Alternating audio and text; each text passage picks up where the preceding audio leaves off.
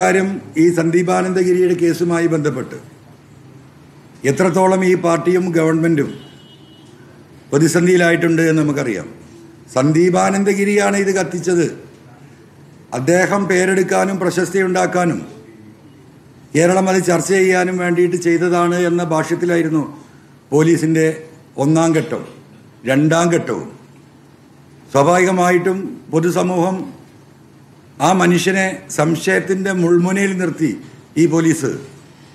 എത്ര കാലം സമൂഹത്തിൽ ഇറങ്ങി വരാൻ കഴിയാത്ത വിധം സ്വാമിയുടെ അഭിമാനത്തിന് ക്ഷതമേൽക്കുന്ന വാർത്തകളും റിപ്പോർട്ടുകളും നമ്മൾ കണ്ടതാണ്. അപ്പോൾ ഈ പോലീസിലെ ഒരു ആർ എസ് എസ് സംഘം എത്രത്തോളം ഈ ഗവൺമെന്റിനെ പ്രതിസന്ധിയിലാക്കാൻ ശ്രമിക്കുന്നു എന്നതിന്റെ ഒരു തെളിവ് കൂടിയാണ് ഈ പോലീസ് റിപ്പോർട്ട്. ഞാനിത് ചുരുക്കി വായിക്കാം. നിങ്ങൾക്ക് എല്ലാവർക്കും മെയിൽ കാരണം നമ്മളെ പത്രസമ്മേളനം വല്ലാതെ നീളുന്നു എന്നൊരു ഒരു പരാതിയുണ്ട്. അതുകൊണ്ട് ഞാൻ അത് അത്ര വിശദീകരിക്കുന്നില്ല. കാര്യങ്ങൾ അതിന്റെ ചുരുക്കം മാത്രം നിങ്ങൾ ഇവിടെ പറയുന്നുള്ളൂ.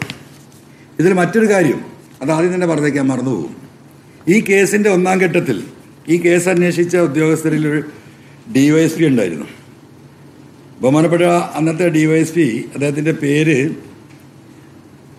രാജേഷ് എന്നാണ്. അദ്ദേഹമാണ് ഈ കേസിലെ ഒന്നാം ഘട്ടത്തിൽ ഈ കേസിനെ തിരിച്ചുവിടുന്നതിന് നേതൃത്വം നൽകിയത്. അദ്ദേഹത്തിന്റെ ചില ഫോട്ടോസ് ഇപ്പോൾ റിട്ടയർഡാണ് ഈ കേസന്വേഷണം കഴിഞ്ഞ് അദ്ദേഹം റിട്ടയർഡായിട്ട് ഈ കഴിഞ്ഞ പാർലമെന്റ് തെരഞ്ഞെടുപ്പിൽ ബി ജെ പിയുടെ ബൂത്ത് ഏജന്റാണ് ഈ പറയുന്ന വ്യക്തി. ഈ ഫോട്ടോ നിങ്ങൾക്ക് ഞാൻ അയച്ചു തരാം ഒരു ഫോട്ടോ അല്ല ഈ ചങ്ങാതിയാണ് കേസ് തിരിച്ചുവിടുന്നതിൽ ഒരു പ്രധാനി. ഒരുപാട് ബൂത്ത് ഏജന്റുമാരെ നമ്മൾ കണ്ടിട്ടുണ്ട്. കൊടി എന്നെ പുതച്ചിരിക്കുന്ന ഒന്ന് നോക്കൂ നിങ്ങൾ അപ്പോൾ എന്താ ഇതിൽ നിന്നൊക്കെ കാണിക്കുന്നത്? ഈ കക്ഷി ഇതിൽ ഈ കേസ് അട്ടിമറിച്ചിലെ ഒരു പ്രധാന കക്ഷിയാണ്. അതിലേക്ക് ബാക്കി കാര്യങ്ങളിലേക്കും വരാം. നമുക്ക് ഈ പോലീസ് റിപ്പോർട്ടൊന്ന് ഒന്ന് നോക്കാം. ഇത് പോലീസ് ഡെപ്യൂട്ടി സൂപ്രണ്ടിന്റെ കാര്യാലയം crime branch central unit Pettah Thiruvananthapuram.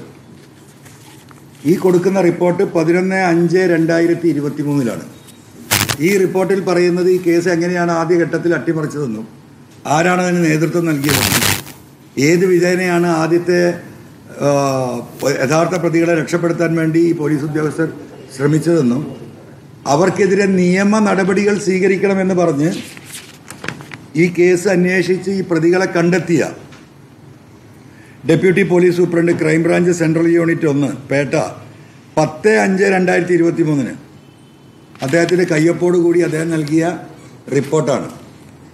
ഈ റിപ്പോർട്ടാണ് A D G P Ajith കുമാറിന്റെ നേതൃത്വത്തിലുള്ള ഈ പറയുന്ന ക്രിമിനൽ സംഘം പൂഴ്ത്തിയത്.